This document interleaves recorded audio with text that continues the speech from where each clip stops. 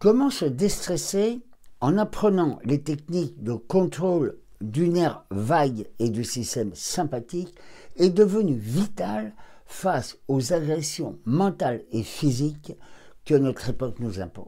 Le stress, non seulement vous gâche la vie, vous empêche de profiter des plaisirs du quotidien, mais surtout, il épuise vos réserves nerveuses. Il mine vos défenses immunitaires. Il vous expose aux maladies inflammatoires et infectieuses à répétition. Il est responsable de blocage des plexus, expliquant les sensations à type d'oppression, d'anxiété, d'angoisse au niveau du sternum, de boule d'estomac, de tensions musculaires gênantes ou douloureuses. Ces tensions musculaires entraînent une aggravation des raideurs, des articulations qui souffrent d'arthrose, que ce soit au niveau du cou, du dos, des lombaires, des genoux, des coudes, des poignets, des mains ou encore des pieds. Le stress crée des spasmes, c'est-à-dire des contractions aussi bien des muscles viscéraux du diaphragme que des organes des sphincters, notamment au niveau de la vésicule biliaire, qui est le véritable signal d'alarme de l'état de stress, mais aussi de l'estomac et de l'intestin, sans oublier la vessie et l'utérus. Cet état de stress engendre, associé à l'inflammation chronique, 80% des troubles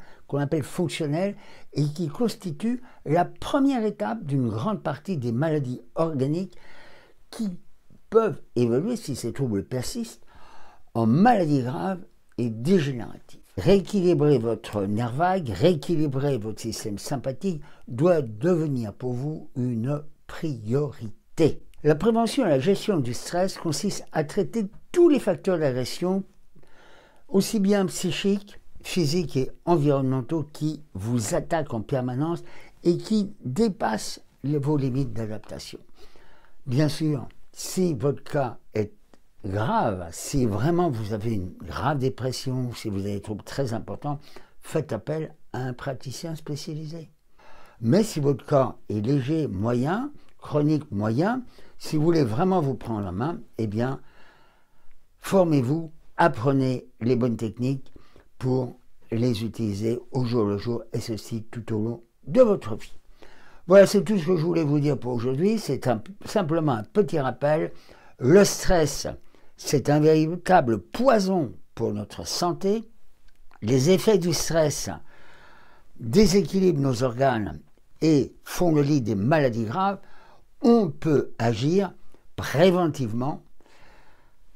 Et en agissant préventivement, eh ça nous permet d'éviter un certain nombre de maladies qui surviennent précisément en l'absence de prévention.